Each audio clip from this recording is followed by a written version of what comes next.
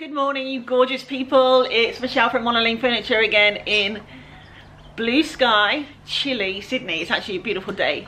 Today, we're going to get stuck into this coffee table. It feels like it's been a while since I've done a coffee table, so I'm quite looking forward to it. Let's have a quick look.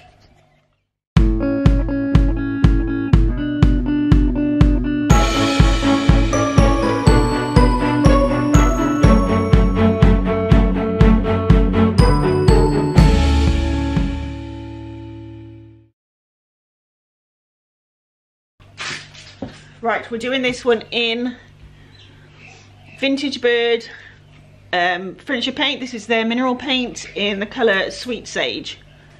I've used this a lot. I love it. Love, love, love it. So the top is going to be stained. I'm going to take it back to raw and see where we're at. I want to keep it light. So it may be Canton Millie cuttlefish with possibly a little bit of something else mixed in to bring out some wood tones. We'll just have a look. We'll play that by ear. You know, no change there. So I'll go Vintage Bird. Now the Vintage Bird is a mineral paint. It's got a built-in top coat, but it's a matte one. So I, what I'm going to do is I'm going to wax this. I think. That's my plan. Who knows? So first things first, I'm going to sand this with a 120 grit and I'm using I get these disc pads uh, disc sanding discs from Sleek Brushes Australia. This is a 120 grit these discs are really good quality. They last well. So this is my new go-to place. Highly recommended. And I've got my sander hooked up to my what's it called? Karcher shop vac. Um, and it's pretty straightforward. There wasn't a specific attachment to hook it up to this so I've taped it on. And that's it. You just switch this on switch the vacuum on switch that on and away. And this actually turns into a vacuum itself. It's really good. Anyway I'll speed up the process as I'm doing this because it's going to be noisy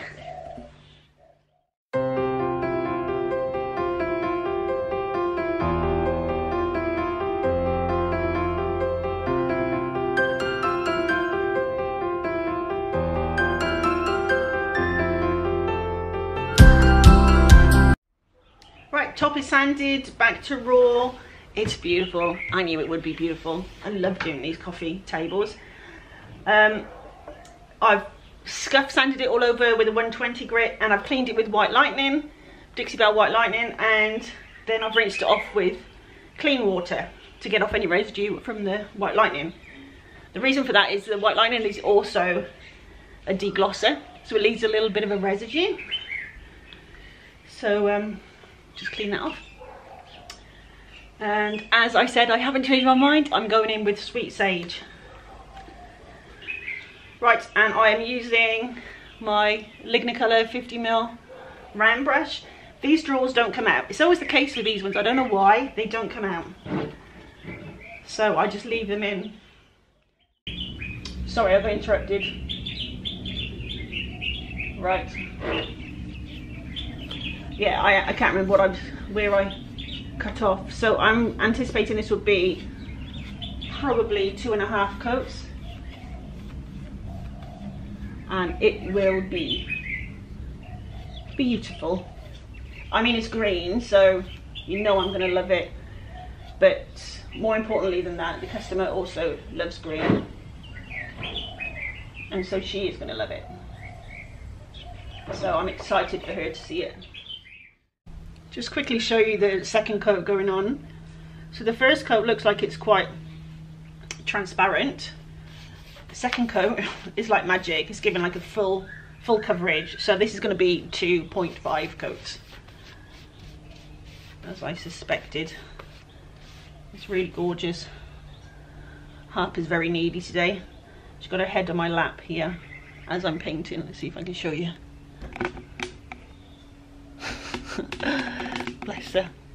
She's a mummy's girl.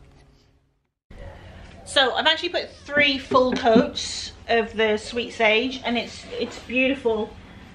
Um, like I said, I don't need to wax it because it does have a built-in top coat, but I think I will, but I, I'll just go with clear wax. I don't think I need any white. So what I'm gonna do now is just smooth sand this. Actually, I'll just do it by hand. because it's really smooth already. So this is just a 240 grit that I buy in rolls from uh, Sleek Brushes Australia. So all I'm doing is just taking the roughness off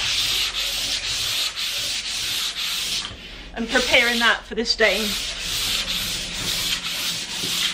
And I'm really not going to put much of a stain on at all. I'm going to put Cartsamilli Cuttlefish on, which is a whitewash. Um, but I'll put it, it on very, I won't put it on very thick at all because all I want to do is stop any natural red coming through.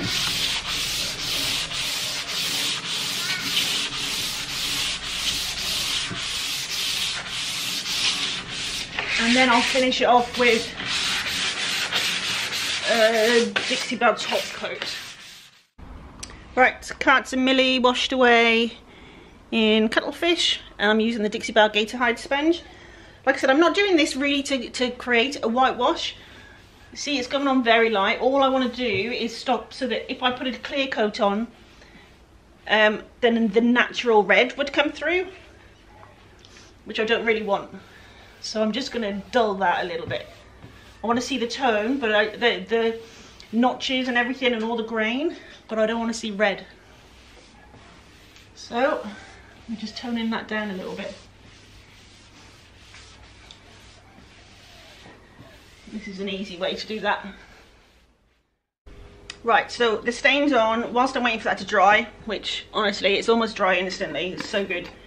Um, that confused me. Um, I'm going to go in with the wax. Um, this is the clear, but in the tub it's white. So this is Dixie Belle Best Dang Wax, but trust me, it's clear and I'm going to apply with Dixie Belle Best, Dang brush. So people use this for both blending and for wax. Um, as you can see, I've been using it for black wax. It's a bit of a mess. Anyway, let's get this sucker waxed. So I just brush it on any old how really. You just want to get it into the paint and then you come back later and buff it off. So you buff off any excess and then you're left with a lovely smooth buttery finish. And it's easy, no brush strokes. I haven't sanded this by the way, don't need to. It's um Bailey's hair. It's silky smooth already. Okay, time to get some top coat on. I'm going in with Dixie Belle clear coat in satin and I'm using my Lignocolor 60mm flat brush. How many different products have I used today? Vintage Bird, Dixie Belle, Lignocolor and Cartsamilli.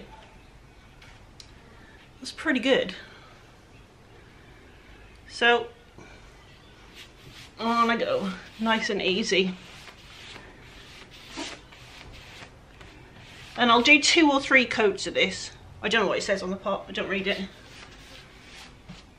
But you should. Read away. Shouldn't they, perhaps? Always read. But then if you find out that I'm doing something wrong, just put it in the comments. Save me reading it. No, generally I learn by my mistakes, so I soon find out if I'm doing something wrong. But seriously, who's got time to read instructions all the time? I've got furniture to flip. This goes on so easily. Really nice. Really like this. Some of the satin coat, top coats are quite thick and they don't self-level which basically leaves you with brush, uh, brush strokes. And that's the last thing you want. After all the work you've done on your prep and your sanding for the top coat to leave you with brush strokes that is so disheartening. So find a good top coat. And my suggestion is the best ones are not so thick The satin ones are generally a little thicker, but um, yeah, this one, this one lays out really nicely and levels off nicely. Bailey, Bailey, no one.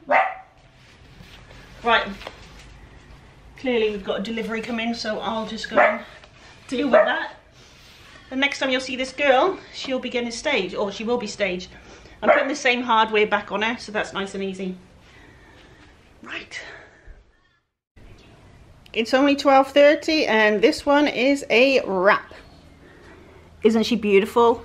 I can't wait to show her to the customer. She's been having a really rough time health-wise recently and um, I think this is going to put a smile on her face. It's just beautiful. Thank you, as always, for sticking with me on this one, guys. Um, it was a quick one. It's nice. She's a beauty. I'll get some lovely photos now, send it over to the customer, and then she'll be on her way probably tomorrow. So that's really nice. It's nice when you can do that for someone. Anyway, thanks for sticking with me. As I said, um, look forward to seeing you on the next time. Like, comment, subscribe, all that jazz, and I'll see you next time. Take care.